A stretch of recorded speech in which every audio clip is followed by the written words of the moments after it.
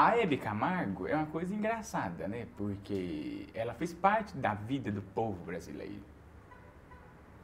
É. É, e, e é- e ela era como uma tia da gente, mas ela já não está mais entre nós. Engraçado isso, né? Isso é engraçado, como É. as pessoas vêm, marcam É. e vão embora. É como se um ônibus passasse e levasse essa turminha e tá todo mundo lá esperando a gente. É o céu, Exatamente. né? O céu é um. E eu, particularmente, não quero chegar. Ninguém quer. Vai que lá tem uma coisa que a gente não gosta, né? Todo mundo nu. Imagina você com sua avó nua no céu. Nossa. É muito desagradável. É, exatamente. Porque não vai, eles não vão ter esses pudores lá, né? Eu imagino, não sei, né? Ou de branco eles não vão usar. O branco dá labirintite nas pessoas. Ou será que todo mundo volta a ser jovem? Sei lá, minha avó tá jovem numa balada Né? e eu posso, de repente, dar ideia na minha avó sem saber, porque a gente pode não reconhecer mais nossos parentes. É, e ninguém mais tem sexo, todo mundo é aquela vagina da Barbie. Exatamente, então, imagina isso. é, todo mundo se ama, mas não se penetra. Engraçado isso daí. que, que situação constrangedora. É. O céu é constrangedor, meu. Lá no Rio é uma alegria. Lá é uma alegria. Lá é uma alegria. É paraíso mesmo, assim, tropical? Cara, não. É, falta isso, né? Falta Essa isso. coisa da. A galera vem bicho de-. É, exatamente. Você tá assim, tomando um suco no shopping, tem um bicho preguiça e você abraça. Lá, as pessoas vendem muito a praia, aquela coisa toda, correndo na orla, aquela alegria, que não sei o quê, tocando. É. Tom Jobim voando. Exatamente. O, o próprio Tom, Emil Só Vinícius. que eu sou de Realengo. É. Então, em Realengo, a chapa esquenta um pouquinho Ah, é outro lado, o lado B É o lado É. B, é o lado B. do Rio de Janeiro, né? E aí, cara, a gente, por exemplo, lá no meu canal eu entrevisto gente na rua, mendigos e tal, todos me adoram. Inclusive, queria falar uma coisa aqui. É. Tinha uma senhora que tava andando lá na orla da praia, e eu entrevistei ela, ela era meio maluquinha, ela tava fazendo assim, ó. Orla e idosos é um imã, É, quase. exatamente. É, eles adoram a orla. E ela tava muito ranzinhas assim, sai, sai. Aí eu entrevistando, eu tô aqui com essa simpatia de pessoa, tô aqui com ela que trabalhou aqui uma simpatia. E ela não falava nada, só fazia assim. "Ah, ah." Aí o que acontece? Eu fui seguindo ela a orla inteira. No final das contas eu descobri que ela tava com Alzheimer. Ela tem Alzheimer e a família dela descobriu através do vídeo. Nossa, e falou, olha, tá dando chute nessa minha parente. Você sabe que eu sou viciado, um dos meus vícios mais sombrios e maravilhosos é ver vídeo de idosos com Alzheimer no YouTube. Que é uma coisa... Perambulando pela rua. Não, a família filma idosos com Alzheimer. Olha, minha avó tá no nível 2 do Alzheimer. Ah, tá. Tem isso aí. E a, tem uma, que um, um senhor que eu assisto, que a, a família dele... Porque assim, é muito, o Alzheimer é muito ruim pe- pra pessoa, claro, mas é, é aliviante. É difícil é pra família. Exatamente. Porque no começo, depois vira uma merda que você esquece como é que come. Não, é pra essa senhora né, que como se é perdeu de- deve ter sido uma merda. É, não. Porque eu acho que em algum momento você sai pra comprar um pão. Aí você abre o olho e fala, nossa, estou nua numa balada trash 80. exatamente, exatamente. Mas é maravilhoso. Eu acho que é, Alzheimer tem seu lado positivo.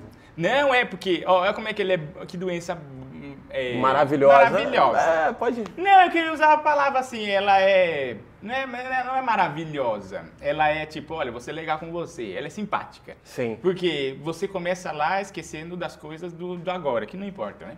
Aí depois você esquece, você começa a lembrar do passado que era legal. Uh, época que você era penetrado por pessoas, etc.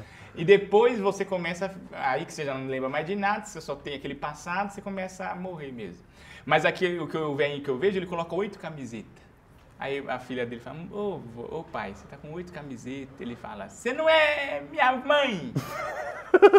Sai daqui, farroupilha! Com oito camisetas. Oito camisetas. O cara Ô, tá infladaço, Oito assim. dias sem tomar banho com oito camisetas. Você tá com Pô, cheiro cara. estranho. Ai, que momento maravilhoso, né? Ai, Alzheimer, cara. É. Todos nós teremos. Você escolheu um conto aqui. Nós vamos começar a ler. Chama. é, querido, por favor, a conta. É, Arnold e o Tibério. Eu queria ser o Tibério. Tá bom. Beleza? Vamos lá. Lindo conto, gente. Maravilhoso. Uma história que emociona o coração do povo brasileiro. Querido, por favor, garçom. Eu entendi bem. Olá, senhor, como está? Como posso ajudá-lo? Uma dúvida apenas. Isso que vi agora, eu tô confuso. Você atirou com uma escopeta na cabeça daquele homem sentado na mesa da minha frente? Ou eu visualizei de forma equivocada? Atirei sim, senhor. Fui eu que dei o tiro. Ah, bem. Então por isso todas as pessoas aqui saíram correndo e foram embora. Me perdi. aqui. Provavelmente. Provavelmente, porém, algumas já tinham encerrado a conta. Talvez tenha sido uma mistura de medo e atraso. Pontualidade é admirável. Sim, de fato, tem razão. Contudo, algo me intriga. Na verdade, mais uma suposição em vista do cenário de unanimidade. Creio eu. Ah, não, não, não. Sinta-se à vontade, senhor. Creio eu que tenho eu, como último cliente, como testemunha, o fim de nobre homem sentado à minha frente seja destinado a mim também. Sim, senhor. Arrisco em dizer que sim. Analisando por esse ângulo, diria que a certeza é totalitária. Imaginei. É, como também deduzi que aqui, enquanto apreciava meu vinho, que deve existir algo no âmbito financeiro que evite esse embaraço. Estou certo? Na verdade, no âmbito sexual. Uh, sei bem. É um jovem rapaz, deve estar em busca das mais belas mulheres. Posso mudar minha entrega aqui? Pode, por favor. Na verdade, no âmbito sexual. E creio que cometeu esse ato em nome de uma é, de uma ironia da juventude. Na verdade, matei esse homem para chamar sua atenção. Sou homossexual e ele era meu amante, um pequeno passatempo. Ele era dono daqui do bistrô. Uma conveniência para me aproximar de você, que há tempos sei que frequenta essa cantina. Quero fazer sexo com o senhor aqui, em cima da mesa. Estou, estou constrangido. Sou um senhor de 90 anos. Nunca imaginei isso. Sim, imagino que o senhor seja heterossexual pelo número de mulheres que traz aqui escondido de sua esposa. Com 90 anos. Eu Por isso. ativamente um homem. Por isso, Viril. vou introduzir meu pênis no senhor para agilizar e não dificultar as coisas. Isso só pode ser uma brincadeira. Sim, você acertou. É um telegrama animado que sua família armou para o senhor. Telegrama do Gugu. Ótimo! Cancele a sopa e feche a conta, por favor. Estou muito envergonhado, rapaz. Não se brinca com essas coisas. Um idosinho não merece passar por essa humilhação. Também achei, Estou muito magoado. achei pesado, inclusive. Vamos andar de skate? Vamos! Partiu!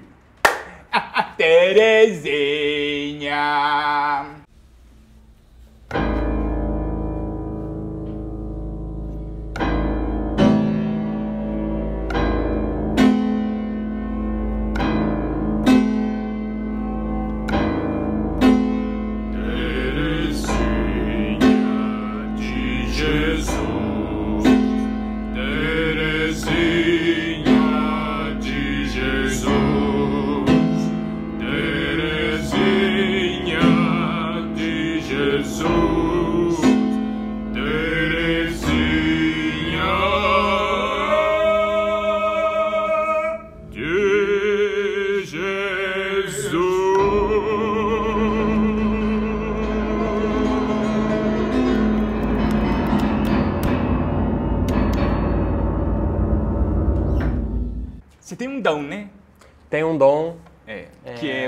piano. que é o piano.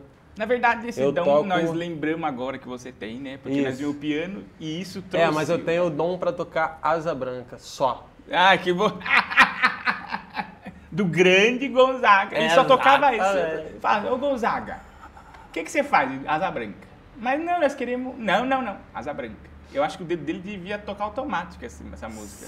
sim, sim, sim. Nossa, aí ele vai no velório dele. O que, que vai ter? Asa branca. Nossa, ele levanta e fala, pô, meu, hoje não. É, muito. Deve ter sido um clima horrível. É, Então, Conta olha. sobre o que, que diz a música Asa Branca. Olhei a terra ardendo, foguete. É uma música São João. Perguntei, Deus do céu. Ai, tamanho e judiação. Ah, é coisa de pobreza no Nordeste e festa. Que é esse mix maravilhoso, né? E Asa Branca, esse nome. É, Asa Não Branca faz deve ser uma nenhum. cidade. É, porque uma, Uma coisa que cidade. não tem no, no, no- no sol quente, escalante, é asa, né, meu? Se Exatamente. tivesse. É. Ou asa branca dos urubus. Eu acho que o Gonzaga tinha, tinha que fazer um show. É, ele não tá vivo mais, né? Não. Ele mora no meu coração, mas ele vive aqui. Ele podia fazer shows com asas brancas, né? Né? Ia ser ótimo. Tocando. Tipo Lady Gaga, meu. Exatamente. Não, se ele colocar uns Ele- brilhos. Quando eu Seu- olhei. que imagem, meu Deus! Olha, valeu meu dia inteiro. Pô, que maneiro. É, o- agora, um pedacinho do dom dele.